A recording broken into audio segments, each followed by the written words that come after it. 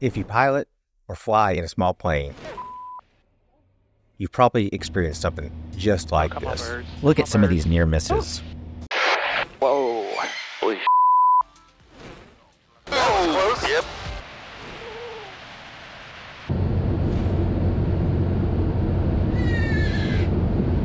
Five hundred feet. Stable approach. Go away, bird. Oh, birds. More birds. Uh, hang on a second. Whoa, whoa, whoa, whoa, whoa. Look how devastating it could be if a bird strikes your airplane.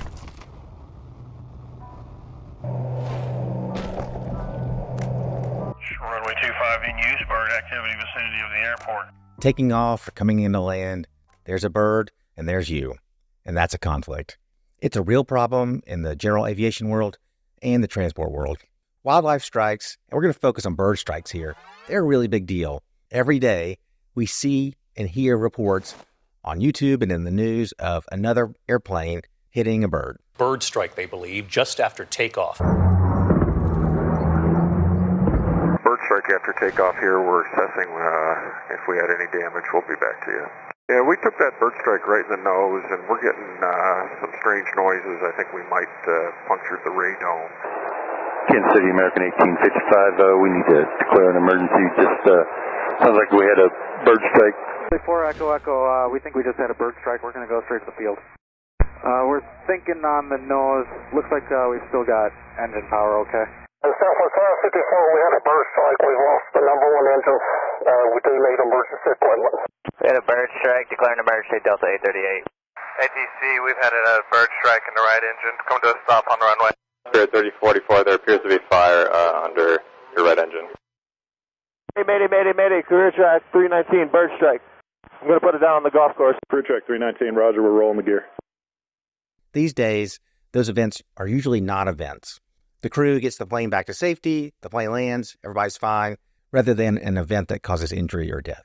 But it always wasn't like that. In October of 1960, an Eastern Airlines Lockheed Electra jet took off from Boston. The plane ran into a flock of starlings, lost three out of four of its engines, and was not able to maintain altitude, and 60 people perished on that day. In 1958, a C 123 Bravo Fairchild carrying a support team for the U.S. Thunderbirds also had a bird strike. This time, it was a flock of geese that caused the airplane to crash, and we lost 19 people on that day.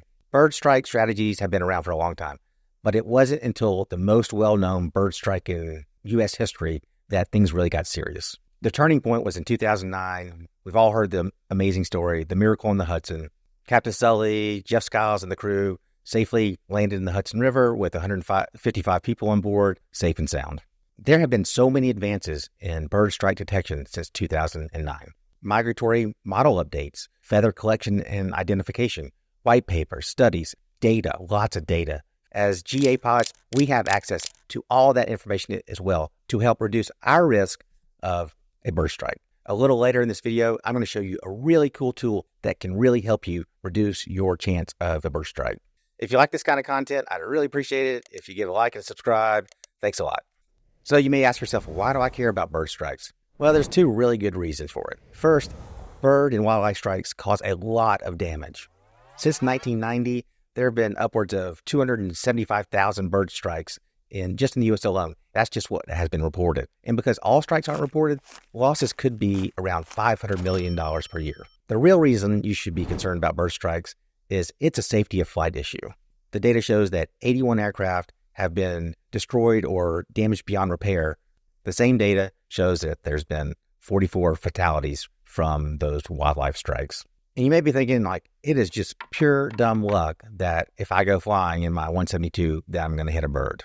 How is there any possible way I can know what my risk is when I take off? Well, there's really good data from the FAA, the Bird Strike Committee, U.S. Department of Agriculture, the Smithsonian, Bird Strike Canada, our U.S. military, and many others. So, what does that data tell us?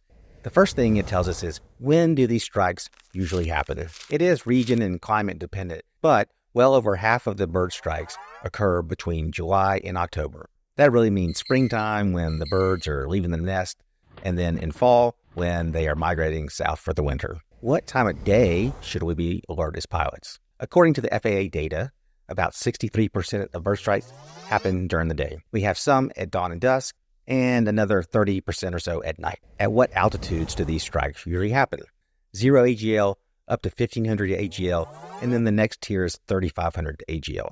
So, really, anything close to the ground, that's where the birds are going to be. There's a myth that birds don't fly at high altitude. While the risk is very low, there have been reports of bird strikes well above 30,000 feet. At those low altitudes, it's pretty easy to figure out what phases of flight these strikes happen. Takeoff roll, it's climb out, it's approach to landing, and it's landing. All the times when you're low and possibly slow, close to the ground, that's when your chances are greatest for a bird strike. The other thing that's predictable is where do the birds like to hang out? Birds love dams, landfills, golf courses, water treatment areas, livestock or agricultural areas. Anywhere that there's access to food and water, the things that they need, that's where they're going to be. And since every ATIS in America basically says the same thing bird activity vicinity of airports. Yes, birds love airports too. What type of birds are we talking about? We're talking about small birds and larger birds. The small birds are mourning doves, killdeer, and swallows that are generally pretty small, but there's a lot of them. While the risk of significant damage from these types of birds is lower, it's still there. The far greater risk for aviation is the larger birds. We're talking about the Canada goose, turkey vultures, hawks, ducks, osprey, among others. 12 pound Canada goose that hits a airplane at 150 knots can produce the same force as a thousand pound weight drop from a 10 foot height. That can cause a lot of damage. And our smaller GA airplanes aren't that fast, but even at 100 knots, the impact and damage to a small GA airplane can be very troubling. Luckily, we have amazing folks on the ground that are doing a lot to help prevent bird strikes. Airports, airport authorities, and government agencies lower the risk of these bird strikes with proven wildlife management techniques. That means anything from altering the habitat of the birds around the airport, making the airports ugly, using techniques to dismiss or, or remove the birds. It can be as old school as a decoy predator or even a scarecrow. And even height of grass matters on how many birds are going to hang out at your airport. Other ways to get birds away from the airport by using technology and sound to make the airport environment as unpleasant as possible for the birds. And there's also some creative ways as well. Dogs are really useful for wildlife control because, uh, specifically border collies, it's in their blood. Eventually, the goal is to train the birds and other animals that they don't want to be here because there's a predator in town, something that's going to keep harassing them all the time. All right, so we have people on the ground helping us. Now, what can we do as pilots to reduce that risk? General aviation, the airlines, we all despise risk. But who despises risk the most?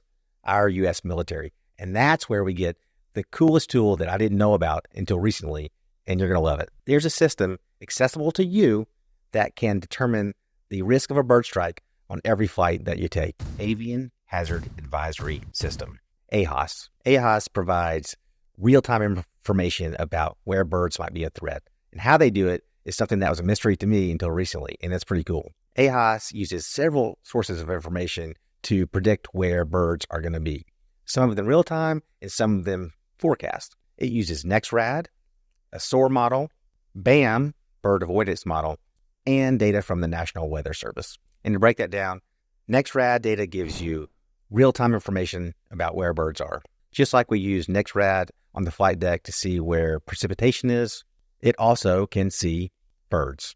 The second layer of AHAS is the soaring model or SOAR. That's good for 24 hours and it's given twice a day. BAM is the bird avoidance model. It takes well over 30 years of data from bird migration patterns and information from the National Weather Service to predict where birds are going to be. AHAS will take all that information and, depending on when you're going on your flight, can tell you what your risk is of a bird strike low, moderate, or severe. Here we are at usahas.com, Avian Hazard Advisory System. We'll just go through a few sections of the website. Um, this won't be an, a fully immersive tutorial on how to use it. I was just suggested you get in here and play around, but we'll hit the highlights. So let's look on the left side here.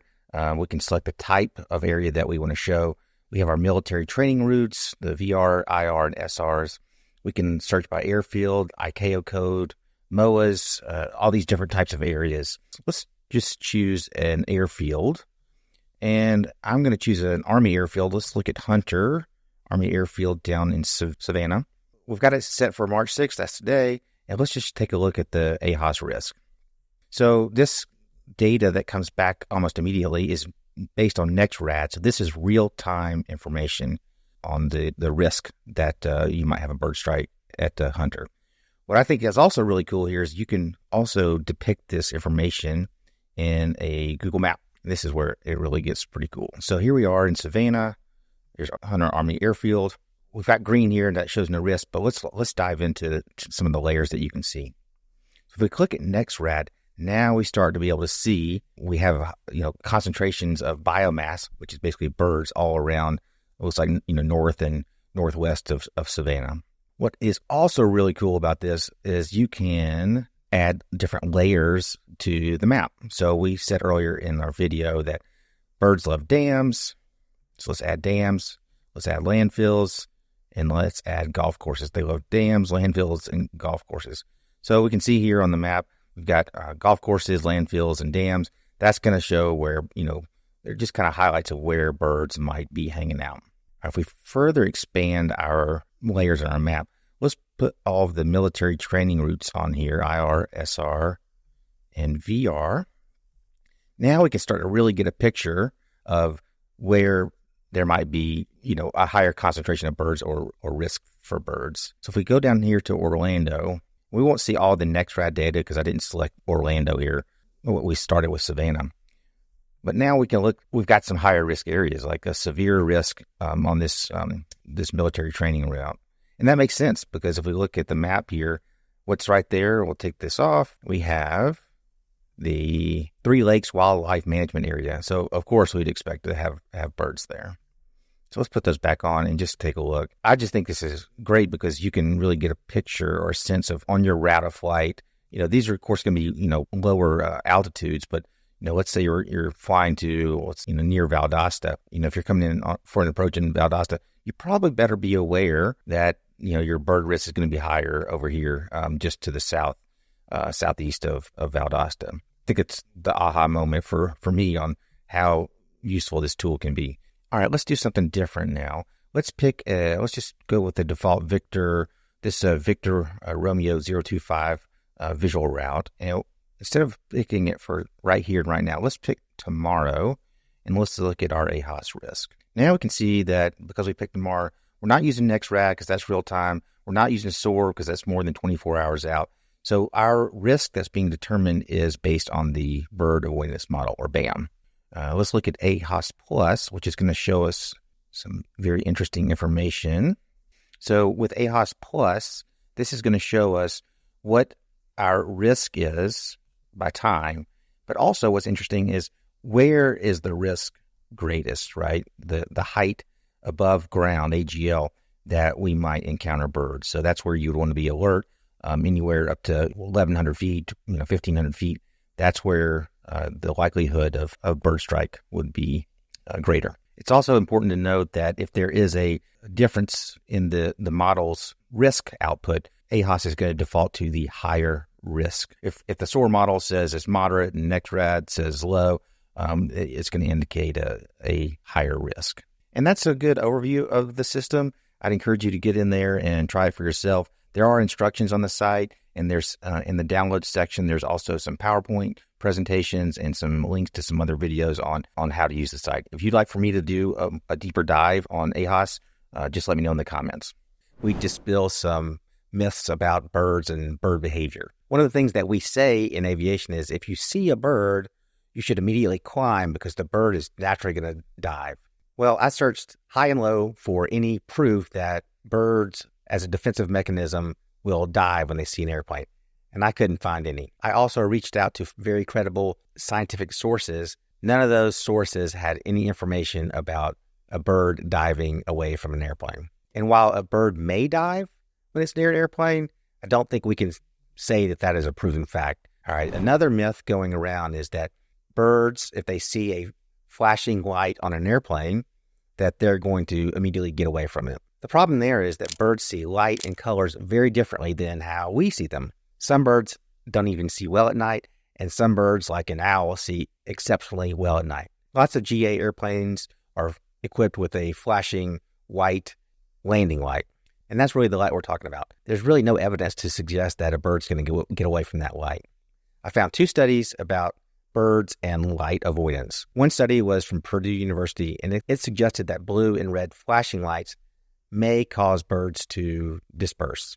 Those lights weren't the type of lights that you'd find on a normal GA airplane. The only other experiment I could find about flashing lights and birds getting out of the way was an FAA experiment where they attached UV LED lights on an ag plane, flew it around for 80 hours, and the pilot reported that birds seemed to get out of the way.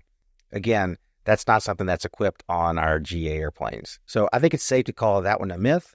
The better reason for having your lights on is for traffic avoidance. If after all that you're unlucky and you still end up hitting a bird, the number one thing you should do, of course, is fly the plane and get on the ground safely. When you do get on the ground, and if you have the opportunity, you should report that bird strike to the National Wildlife Strike Database. That'll help protect other pilots in the future. And if you think a bird strike can never happen to you, well, that kind of sounds like a hazardous attitude. And I put together a video about five new hazards attitudes in 2024 that you can see here. Safe flying, everyone.